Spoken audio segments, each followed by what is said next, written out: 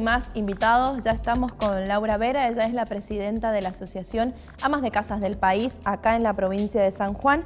¿Por qué ella nos está acompañando? Porque el EPRE que le pide que se retracte sobre algunas expresiones que ella ha tenido. Es decir, han intimado a Laura Vera. A retractarse, sí, bueno, o a, digamos, a rectificar, eh, porque no hasta ahora no han pedido ratificar, o han pedido, perdón, ratificar y no rectificar. Eh. Es medio extraño, pero bueno, eh, justamente está Laura con nosotros. gracias, Laura, por acompañarnos. Gracias a ustedes por la invitación. No, por favor.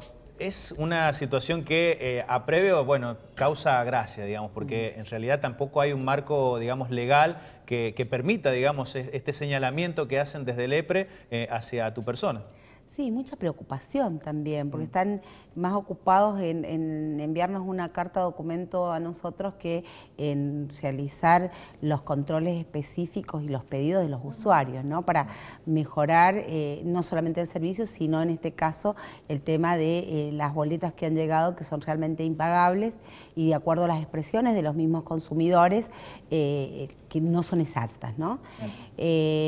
nosotros le decimos que a don Rivera, en vez de estar en enviándonos cartas a nosotros que se presente a nivel nacional y pida tarifa diferenciada porque en los días como hoy eh, es eh, inhumano el apagar un aire acondicionado o un ventilador para no, para no gastar, ¿no? Sí, sí, y, en el caso que sea voluntario, porque ayer también hemos tenido ya información de que en muchos sectores de, la provincia ya están eh, realizando cortes de luz, digamos, algunos programados y otros no programados porque no se avisan y, zonas, digamos, de, mucha población que se han, estado sin luz ayer con una temperatura muy similar a la de ahora, de 37 Por eso nosotros decimos que el ente tiene que tomar medidas con relación a estas cuestiones tan necesarias y sensibles.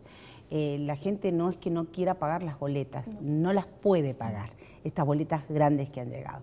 Y entendemos y siempre hemos dicho que el mayor problema es el costo de la energía a nivel nacional y de la distribución, que en el lapso de cuatro años ha subido el 3.000% y que ahora en diciembre nuevamente se va a acrecentar, ¿no? Pero no pasa en las otras provincias lo que nos está pasando a nosotros. Entonces, no puede ser que gran parte de la población sanjuanina estemos derrochando, como dice Rivera, sino que hay un problema con el tema de las mediciones, un problema claro, que ni siquiera es un problema de medidor, porque eh, cuando nosotros hicimos los reclamos hace dos meses atrás, retiraron casi la totalidad de los 200 reclamos que llevábamos. Pero eso no modificó que a las familias les venga menos o que se les, eh, se les haya dicho, bueno, sí, se estaba midiendo mal. Por el contrario, dábamos un caso testigo de una vecina que nuevamente nos acompañó ayer de San Martín, que en la primera movilización eh, hicimos una presentación por una boleta de 8 mil pesos que le había llegado. Una familia de eh, familia tipo, cinco personas y eh, que obviamente después de esa boleta de 8 mil, más se cuidó ella con estar apagando todo artefacto que no tuviera funcionamiento, desenchufando, o sea, eh, extremando ya los cuidados, ¿no? Le llegó 22. Claro. ¿sí? Ahora tienen dos boletas de 22 mil pesos. Entonces, eh, decimos, si con, con, todo lo que estamos sufriendo y estamos padeciendo, y que eh, en virtud de eso también estamos haciendo un ahorro más allá de, lo, humano, porque esto que hablamos, ¿no? De la voluntad de uno. Eh, no puede ser que hayan expresiones como estas que hay de parte del director. Claro, eso es lo que te iba a preguntar. Para la gente que nos está viendo y que no saben de qué se trata esta intimación, ¿por qué es que a vos te intiman desde... Yo creo que lo que más molestó, aparte de esto, es el hecho que nosotros hemos dicho que el EPRE gerencia o administra nuestros recursos, que contra más eh, cara llega la boleta de energía, más recauda. Pero eso lo decimos con conocimiento y que, y que todos los sanjuaninos saben, que el Fondo de Interconexión en 500 y Piede lo maneja o lo administra el EPRE y lo distribuye para hacer obras. Entonces, lógicamente no puede ser arte y parte. ¿Sí? O sea, eh, si a nosotros las boletas nos aumentan, la recaudación del EPRE también aumenta. O sea, eso, es, lo que hemos dicho y lo que ha molestado, pero es basado en una, eh, en una realidad que existe. Hay, digamos, una posición que indica que, bueno, o tu idea, digamos, sería avanzar hacia un gerenciamiento total, digamos, del EPRE. No, lo que nosotros decimos es que eh, el ente regulador de la energía debe cumplir otra función, no estar realizando obras.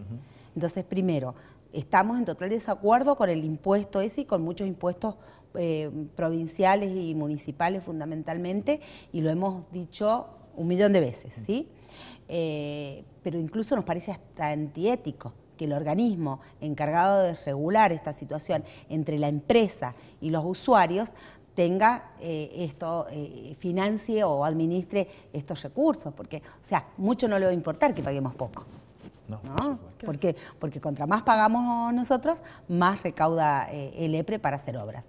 No estamos diciendo que robe, no estamos diciendo absolutamente nada de eso. Decimos simplemente que lo que se recauda, ellos lo administran para realizar mejoras. Claro, que digamos hay una especie de sospechosa, digamos, manejo, por decirlo de alguna manera, donde ellos, además de eh, ser controladores, son recaudadores, entonces es medio difícil que eh, tomen en cuenta, digamos, reclamos, si lo que necesitan justamente es eh, recibir más dinero. Pero pensemos que detrás de todo esto hay, hay gente, hay personas, está la sociedad, que es la que paga boletas con costos que realmente son impagables. Esa es la realidad. eso es lo que me preocupa también. Ayer eh, leía un informe que había sacado Energía San Juan y el EPRE, en donde eh, hay una tabla que dice que 78 mil usuarios eh, consumen de cero a mil pesos. Eso es mentira. O a lo mejor los 4.000 que están en el rango de los 6.000 pesos, los tenemos a todos haciéndonos reclamos dentro de la federación, ¿no? Porque eh, son muchísimos los, reclamos de, personas que... Yo creo que todos tenemos un amigo, un familiar que ha recibido una boleta, pero excedido en, los costos. Ahí en la movilización eh, habían llevado boletas que no las pudimos presentar porque ni siquiera nos abrieron la puerta, así que más que una presentación, en, este momento fue un scratch, porque hicimos un acto en la puerta y todas superaban los 6 mil pesos, todas. Claro. ¿sí? Eh, y habían boletas hasta de, eh, de 22 mil, como dije, dos boletas de 22 mil y había una señora que en tres boletas se le habían juntado 29. Dice, mire, mi marido está sin trabajo. Yo, yo, dice, hago semitas para vender, pan y tengo la asignación. ¿Cómo voy a pagar esto? Tengo nenes chiquitos. Había una señora que tenía un, nene con discapacidad.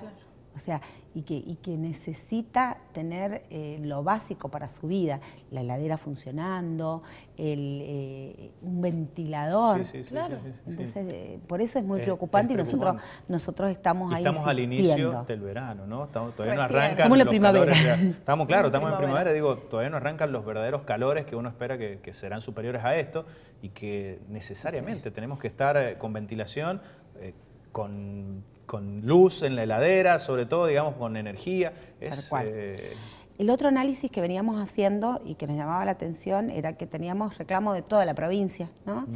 Eh, eh, reclamos propios y reclamos que nos hacemos hueco, ¿no? De los departamentos alejados y todo esto. Pero no había reclamos de caucete. Ah. Entonces empezamos a agarrar y a pedir eh, boletas de Caucete y en Caucete las boletas... ¿Caucete tiene cooperativa? Caucete tiene estatizada la energía.